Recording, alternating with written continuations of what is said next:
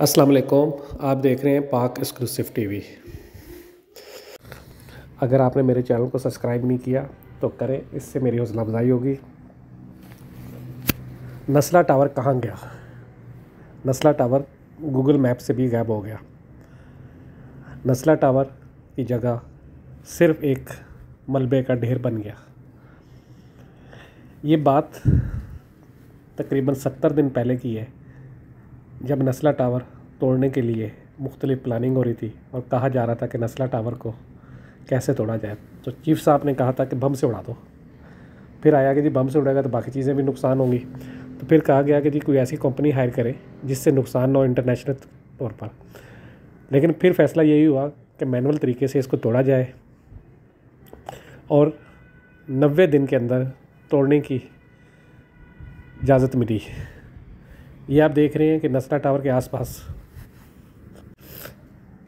मलबे का ढेर बन चुका है चारों तरफ़। और हैवी मशीनरी इस वक्त भी काम कर रही है, जो थोड़ा बहुत बिल्डिंग के साथ रह गए उनको मिटाने में। जो ठेकेदार था, उसने तकरीबन सत्तर दिन पहले ये कहा था कि नब्बे दिन में वो जगह क्लियर कर देगा। और आज यकीन होता है कि उसने बिल्कुल ठीक कहा था। क्योंकि नबे दिन हुए हैं और मलबा साफ़ हो गया है। बिल्डिंग गैब हो गई। चारों तरफ़ से आपको मंज़र नज़र आ रहा होगा। ये देखें इशारा फैसल से इशारा कायदीन और ये दूसरी साइड हर तरफ़ से आपको नज़र आ रहा है कि बिल्डिंग मुकम्मल तौर पर मिट चुकी है। और आने वाले दिनों में, अगले पंद्रह बीस दिन में ये मलबा भी उठा लिया जाएगा। ट्रकों में सरिया लोड करके दूसरी जगह शिफ्ट किया जा रहा है। जो किसी और इमारत में काम आएगा और मलबे को उठा के मुख्तलिफ़ जगह फेंका जा रहा है। देख। इसी तरह, ये देखें, ये एक हैवी मशीनरी जो है वो काम कर रही है और तोड़ फोड़ रही है। ये देखें, ये बिल्कुल करीब से आप देख रहे हैं कि ये आपको नज़र आएगा कि ये बिल्डिंग को किस तरह बिल्कुल उसने ख़त्म कर दिया। इस वक्त अगर आप शारा फैसल से गुजरें तो आपको चार मशीनें मुख्तलिफ़ जगह पर काम करती हुई नज़र आएँगी। और इन चार मशीनों ने ही नस्ला टावर को ज़ीरो कर दिया है, यानी कि ख़त्म कर दिया है।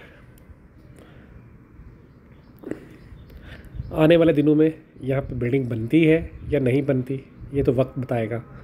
लेकिन बिल्डर ने वादा किया था कि मैं नई बिल्डिंग बनाऊँगा और अलॉटियों को दूँगा। चीफ साहब भी बदल गए हैं, नए चीफ साहब आ गए हैं। अब देखना है सुप्रीम कोर्ट इस पर आगे चलकर क्या फैसला करती है के अलॉटियों के हवाले से। कहा जाता है कि कराची में इस तरह की 700 बिल्डिंगें हैं। अगर हर बिल्डिंग का यही हाल हुआ तो फिर क्या होगा? आप देख रहे थे पाक एक्सक्लूसिव टीवी अगर आपने मेरे चैनल को अब तक सब्सक्राइब नहीं किया तो करें। वीडियो देखने का बहुत बहुत शुक्रिया। अल्लाह हाफिज़।